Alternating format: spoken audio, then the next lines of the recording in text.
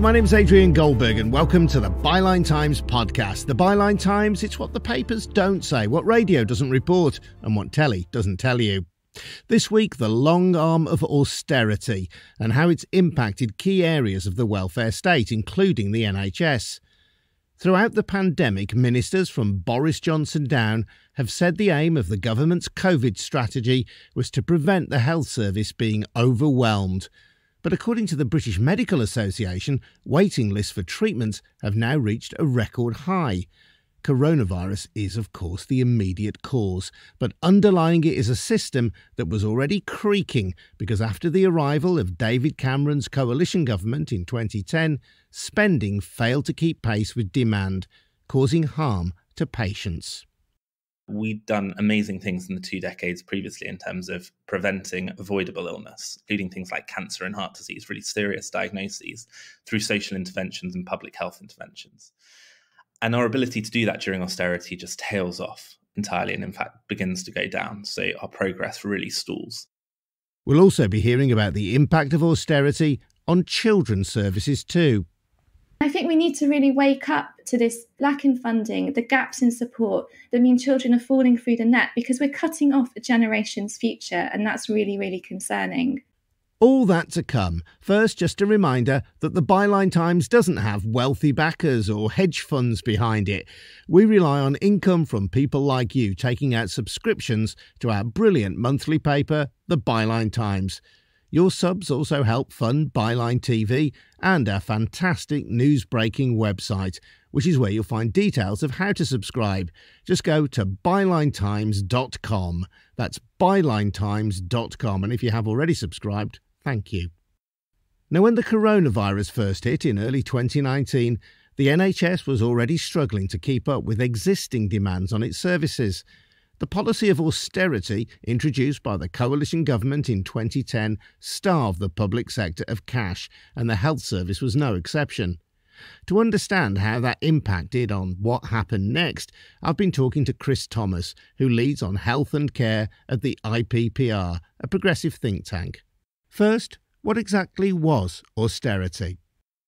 Austerity was a program that really started as a reaction in lots of European countries to the financial crash in the late part of the last decade. So, what we saw was governments argue, including the coalition government as it was elected in, in Britain, that the right response to the crash was to constrain public spending and, in many cases, to lessen it. And there were a few reasons for that. One is that the standard political argument of the right is often that big public spending, big state, isn't something to be desired.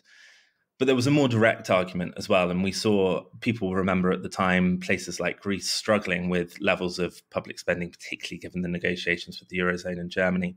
The argument in the UK at the time used by Cameron and his government was that if people didn't trust Britain to pay their obligations, if they didn't see that we were managing our finances in the way that someone might manage a household budget, then we might be less likely to get loans, we might get higher interest rates, and in turn, our financial position would worsen. So that was kind of the logic of austerity.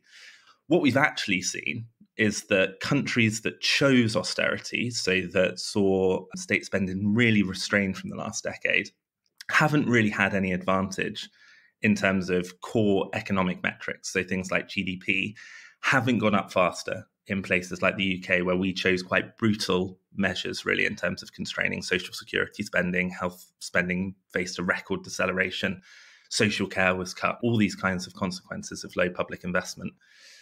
But we have seen some other really worrying things. So we've seen, for example, productivity flatline. So hysteresis has been a big problem for the UK economy, and obviously widening inequality.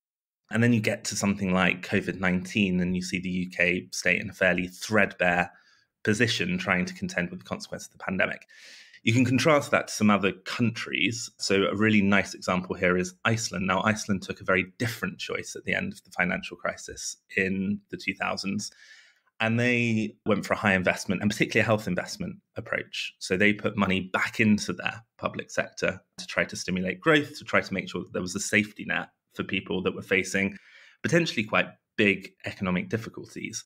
And they didn't face economic consequences, but they also saw some really positive things. So the suicide rate in Iceland, whereas ours increased quite sharply, the Iceland suicide rate declined quite sharply. So a whole range of really positive social measures in places like that.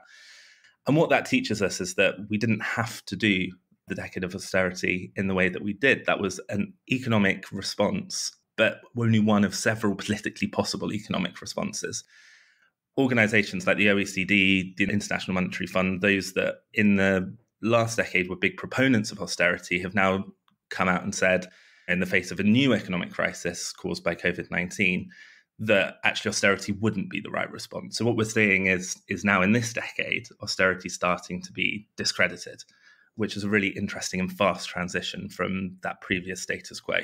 And again indicates that austerity was a political choice, not a kind of objective one. And by taking money out of the economy through austerity, you can argue that contributed to the credit crunch which followed the financial crash. It became harder for large institutions and then for individuals on whom they relied for income to spend money. It made the gears of the economy grind ever more slowly. I totally agree. And we only have to look at some of the best responses to what we're seeing now, this very current COVID 19 induced economic crisis. The best responses have been those that have been built around high levels of stimulus. So you can look at Joe Biden in the United States has put in place a multi trillion dollar investment package that covers things ranging from you know uh, health to social care and, and and actually social care has been a key pinnacle of, of his stimulus but also some kind of climate initiatives as well. Or you can look at Japan that have gone even further than President Biden in terms of the amount of state stimulus that they're putting into public services and into the economy. And the reason this is good is that it stimulates growth. And that's one of the things that we really need if we're thinking about how can we make sure public finances are sustainable. Well, actually, a, a growth led recovery is a really good way to do that in terms of making sure that we can feel comfortable with debt to GDP ratios, those kinds of things. We we saw actually during austerity that the key economic measures that the government were using, and come back to kind of levels of debt and debt to GDP ratios that didn't actually get any better during that decade and we come to the end of the decade we face a second once in a lifetime economic and, and social crisis. So i think you're absolutely right. The the real answer here is to make sure that the economy keeps growing and to do that through public investment is a good decision because we know that that works. We can see internationally that that works. Specifically with regard to the nhs how was it impacted by austerity yeah, the NHS is a really interesting case study of austerity. So, what we see is actually that the National Health Service is one of the only government departments or areas of public spend not to experience a real terms cut, but instead it experiences a record deceleration in funding. So, roughly the average increase in spend during the NHS's history per year is, is somewhere between 3 and 4% real terms, percentage point increase in its budget year on year. That increased quite a lot more sharply during what we might call the new Labour years, and particularly those first Tony Blair premierships. And then a massive cliff edge during austerity. So it went up at just one percentage point real terms each year. The problem for the NHS is that it's contending with some huge problems. Even if we ignore COVID and we take COVID out of the equation, the aging population and the growing population mean that the demand pressures on the NHS are worth around 3% growth in budget each year. That's what you'd need just to keep stasis in the National Health Service. So if you're going up below demand pressures each year in terms of funding, what you're actually doing is constraining the NHS's ability. And we could see that in some of the big efficiency targets that were being levied on the NHS. So in the first instance, there was the Nicholson Challenge, as it was called in the sector, which was a target by the coalition government for the NHS to find 20 billion pounds worth of efficiency savings. So somewhere between a fifth and a sixth of its budget identified as efficiencies and cut. And that was how it was meant to keep going. It was meant to be put under financial pressures and to find efficiency savings that would keep it going. The problem is, is that one that doesn't work as a tactic because the idea that a very stretched system can identify the right efficiency savings rather than cutting off very important services is a little bit false. But also, the idea that the NHS has loads of inefficiencies is maybe a little bit wedded to the idea that, you know, public sector inefficient, private sector very efficient as a kind of false binary that's often put forward.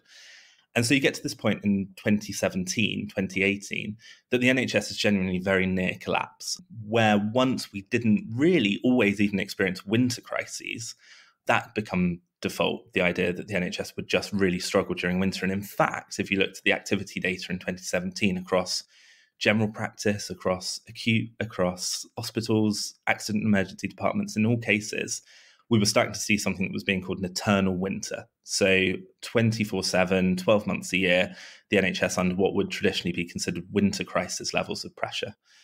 If we look at the international comparisons, we see just how strained and stretched the NHS was. So we had less doctors than comparable countries, less nurses, less hospital beds, higher levels of occupancy. Our hospitals were almost uniformly unsafe in terms of the amount of patients they were caring for.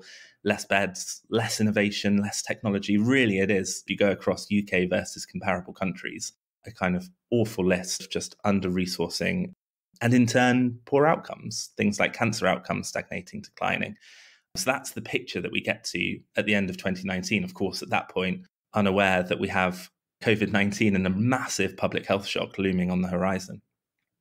But this is really the heart of this issue, isn't it? That throughout the years of austerity, while other parts of the economy were experiencing real term cuts in their budget, the NHS was given overall above inflation rises, rises in real terms in their budget, but those rises were too small. They were too small to be consistent with the need of the NHS and they were not rises that were consistent with the level of increase over the history of the NHS.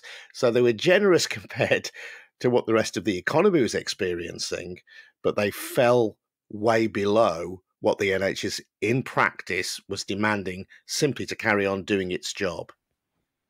Yeah, exactly. And that essentially means that the NHS was was shrunk in terms of its ability to offer world-class care. I mean, it, I often look back at the founding principles of the NHS, and one that's really often forgotten is, you know, Nye Bevan stood up several times in front of the, the House of Commons and he said the NHS's point, the whole purpose of it is to universalize the best care. So to make sure it's not it's not a safety net in the way that sometimes we conceive welfare services. It's a tool by which we can collectively ensure that everyone has access to, to genuinely the best healthcare and that the cost of that is shared across the population. And the ability of the NHS to do that was fundamentally constrained during the austerity decade because it had to sacrifice much of that best practice against the kind of cost pressures it was coming under. The other really important point here is that the NHS is really, really sensitive to cuts that happen elsewhere within the state. So recently the institute for public policy research did some analysis with the actuarial company lane clark peacock and our big search was for the things that we could identify that aren't nhs services but that have the biggest impact on people's health and the things that come up are education skills income inequality child poverty social security universal credit and all of those are things if you look at the education cuts the further education cuts adult training budgets those are all things that were cut, but that we know by being cut have a direct impact on people's health over the course of their lifetime. So if you're thinking about the NHS getting a small but insufficient rise, but actually other things that are really important, what we might call health vital departments, being cut, you're just saving up lots of really long term health problems. And of course, 10 years on, what we see is that if you strip away the pandemic again, the ability of the UK to prevent illness. We'd done amazing things in the two decades previously in terms of preventing avoidable illness, including things like cancer and heart disease, really serious diagnoses through social interventions and public health interventions. And our ability to do that during austerity just tails off entirely and, in fact, begins to go down. So our progress really stalls. And that's basically a tangible quantification of us by not doing the things that are really important upstream to prevent ill health are saving up problems for the NHS to contend with later. And there's a really awful endpoint to this, isn't there? Which is that if we keep cutting really important social security and welfare state services from education to universal credit and putting money into our very acute department, the NHS, we're only ever going to struggle because we're only ever heaping more and more pressure with our short sightedness onto the National Health Service, onto hospitals, onto things that are meant to intervene at the last possible moment, not at the first possible moment when the best improvement is really possible.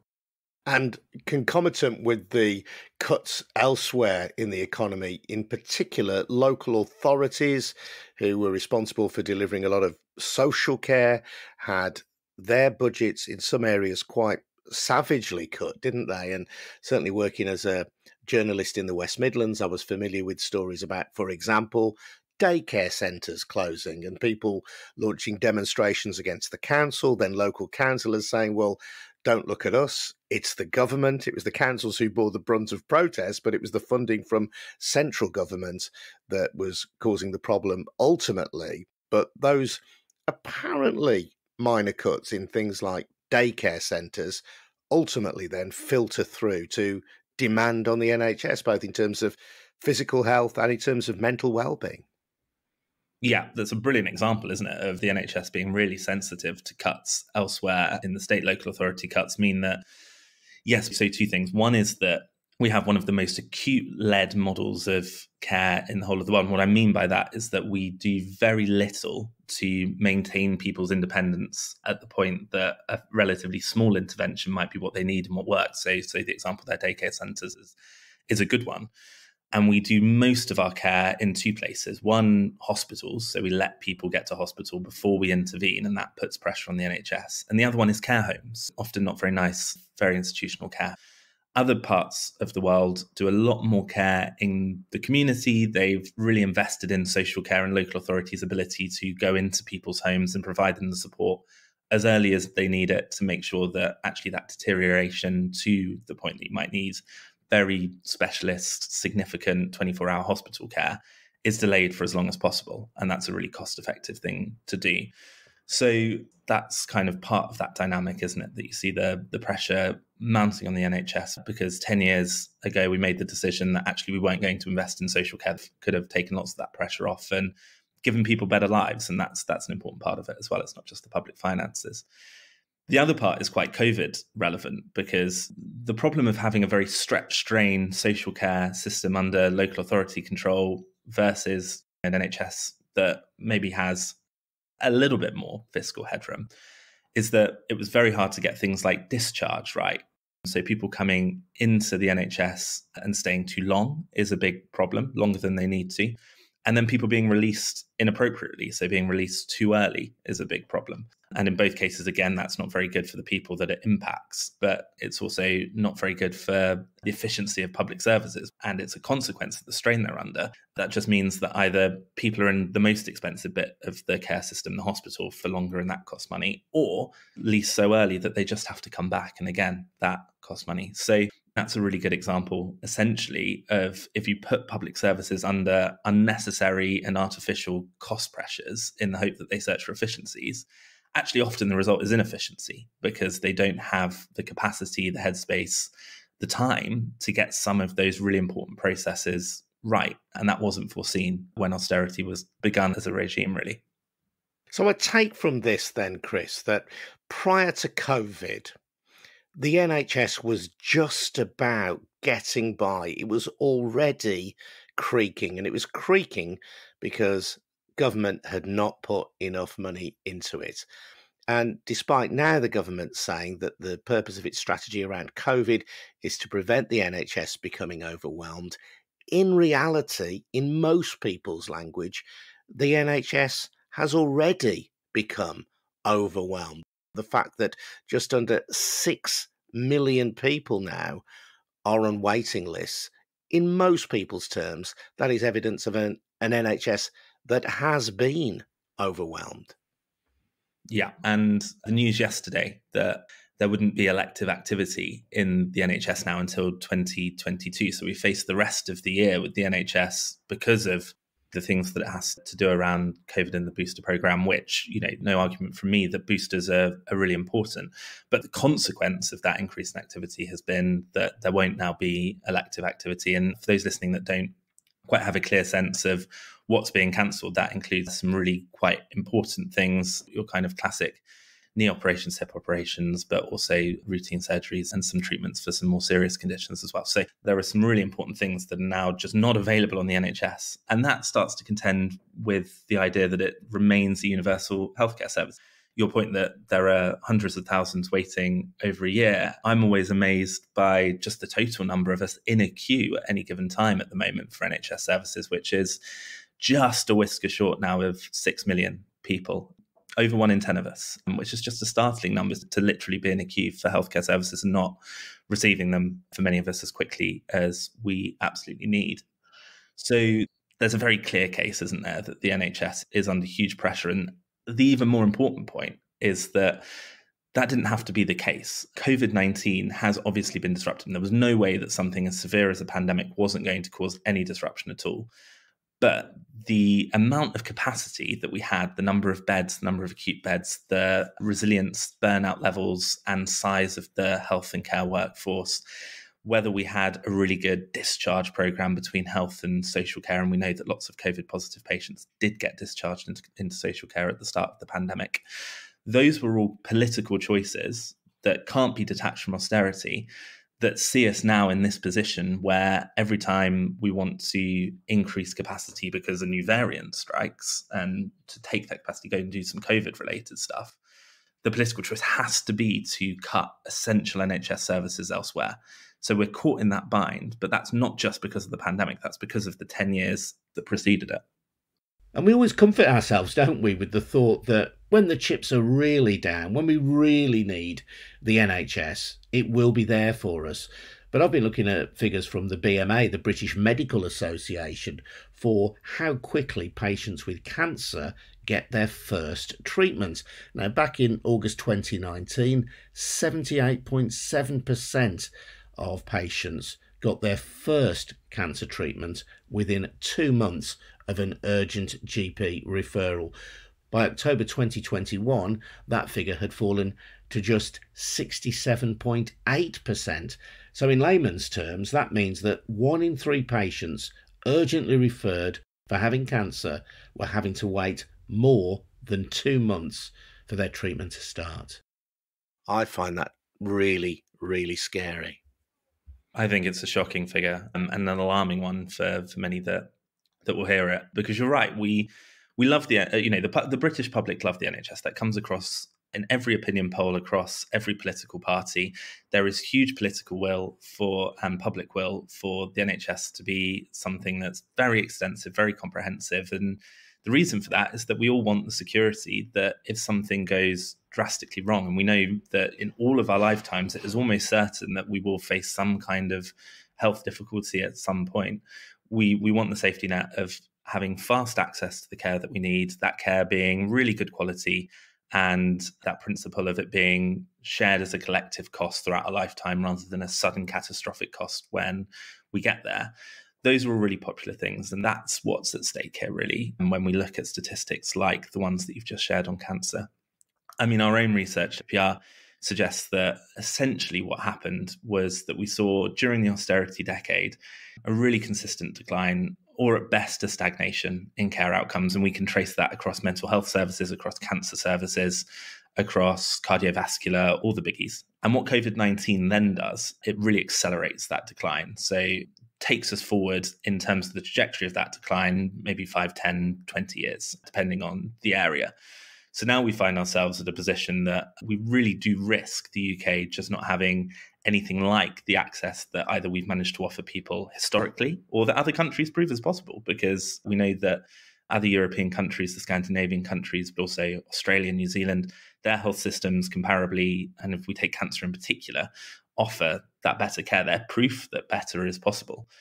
And what really worries me about that, Adrian, is that we'll see people start to opt out of universal public healthcare. We'll see people begin to realize that actually, if they have the means to and the willingness to, that they can supplement their care with maybe direct payments for care directly through private provider, through private insurance products, through might even be just £100 to skip the queue at, at a GP practice and get a same day appointment. Those kinds of things are becoming more prevalent. And the really alarming thing there is that it leaves people without the ability or the willingness to do that, which would be an awful lot of people, with a substandard level of care. We've seen it happen in dentistry. We saw it happen in dentistry in the 90s. We know that it's the case in social care, which is an awful two tier system. So these things can happen. And it would be a really awful legacy of COVID 19 if the new normal that we've all been talking about is one that the NHS is considered sustainable at a level it can barely really survive. And the only way to get the best care, as really is the case in the education system, is to pay significantly more. So I'm quite nervous about the precipice we stand on. And I think the statistic you've shared really epitomizes why it's such a worrying place that we find ourselves. Chris Thomas from the IPPR and Chris's book, The Five Health Frontiers A New Radical Blueprint, is available from January 2022 at Pluto Press. The recent tragic death of six year old Arthur Labinjo Hughes at the hands of his father and stepmother has focused attention on another aspect of the welfare state children's services, which are run by local authorities and which have also faced savage funding cuts since 2010. Spending on children's services in England alone was reduced by 24% in real terms in the first five years of austerity. This against a backdrop of growing numbers of youngsters being taken into care. Sian Norris has been writing for Byline Times about how austerity has impacted this vitally important but often neglected area.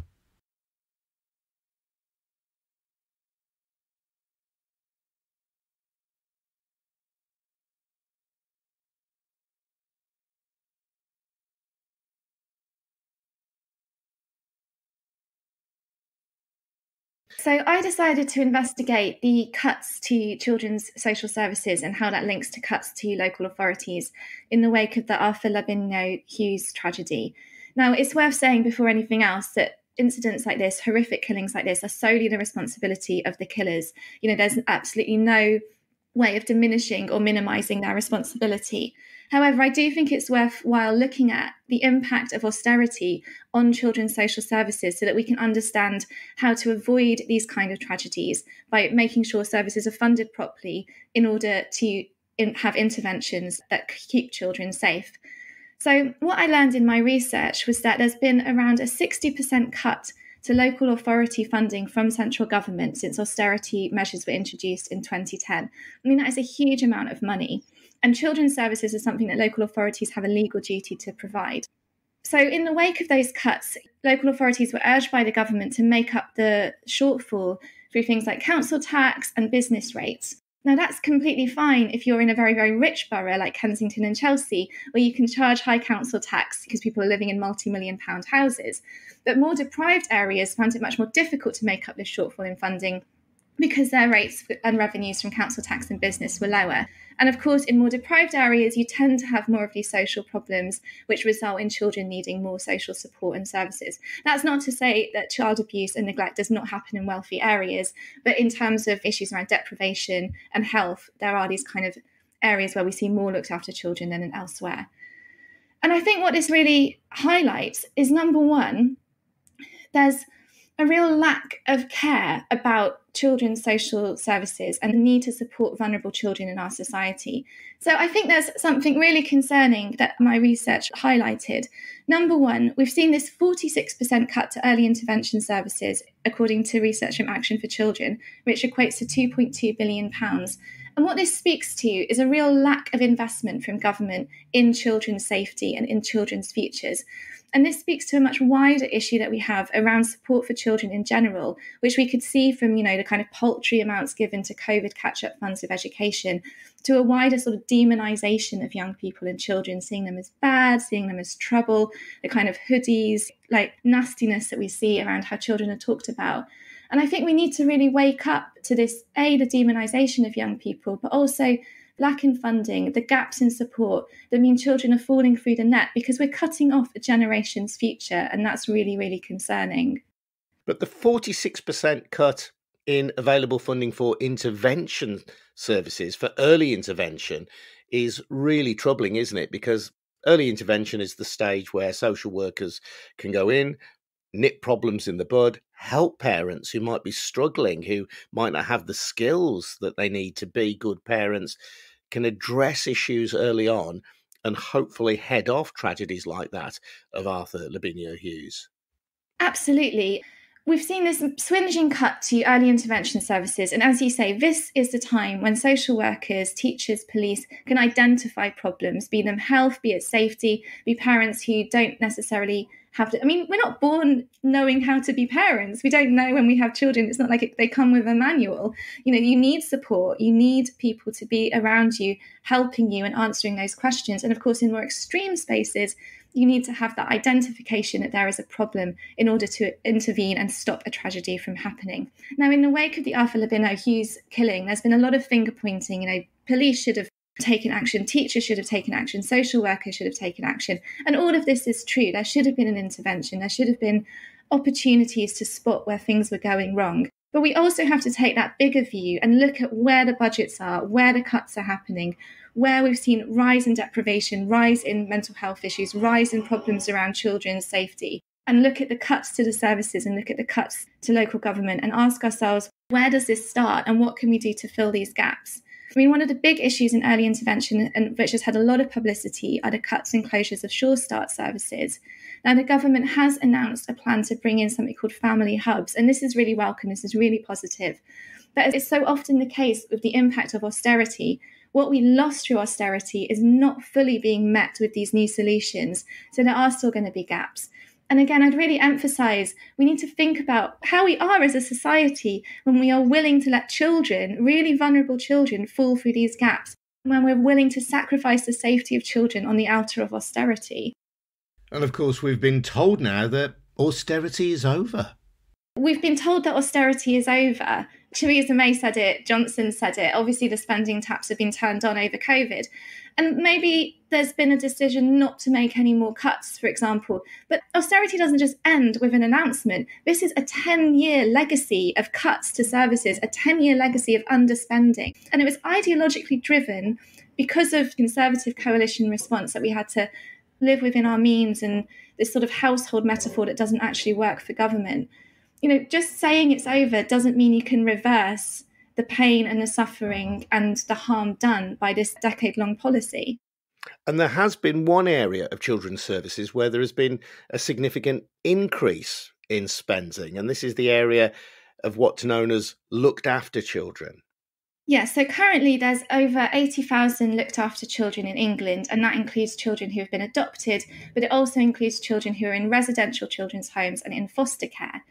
Now, one of the big changes in residential and foster care over the recent years has been a move of private providers coming into the sector and running homes and running foster care agencies. Now, again, it's really important to state that just because a private provider is running a home does not mean that the staff are not any less caring, any less dedicated, any less determined to protect children's safety than in a publicly run one. The people who work in these centres are incredibly important and we should value them. What is more troubling is that the increase of private provision means that there is a second entity, as it were, that these providers are serving, and that is their shareholders. They are in there to make profit as well as to provide care.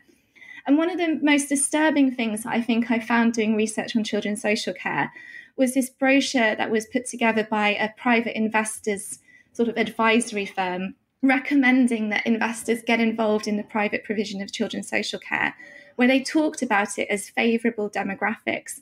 And when you unpack what that means, they're talking about children who may have experienced neglect, may have experienced abuse, may have experienced horrific poverty that means they can no longer be looked after by their parents as a favorable demographic. Now, I don't see the social crisis created by children's social care and austerity as a favorable demographic. I see it as a crisis that we need to be resolving. I think there is growing concern at the increase of private provision in this sector, both because of the need to deliver to the shareholders, but also because private providers can change the prices of their services because they know there's such a real need, and because it can create some instability in the sector. You know, we've had incidents where private providers have suddenly closed down centres, which of course then has a huge impact on the children living in them because they have to be moved again. And I think, if anything, we can all agree that children who are looked after, who are in residential care, need stability over anything else. And so, again, we need to think about the impact of private provision in these spaces while also respecting the staff, you know, the brilliant carers who go to work every day because they care about children. Sian Norris, the Byline Times Chief European and Social Affairs Correspondent. You can read more from Sian and find out how to subscribe to the monthly Byline Times newspaper at bylinetimes.com. Your subscriptions pay for this podcast too, so go on, head over to bylinetimes.com. Cheers. I'm Adrian Goldberg. This has been the Byline Times podcast. Thanks for listening. See you next time.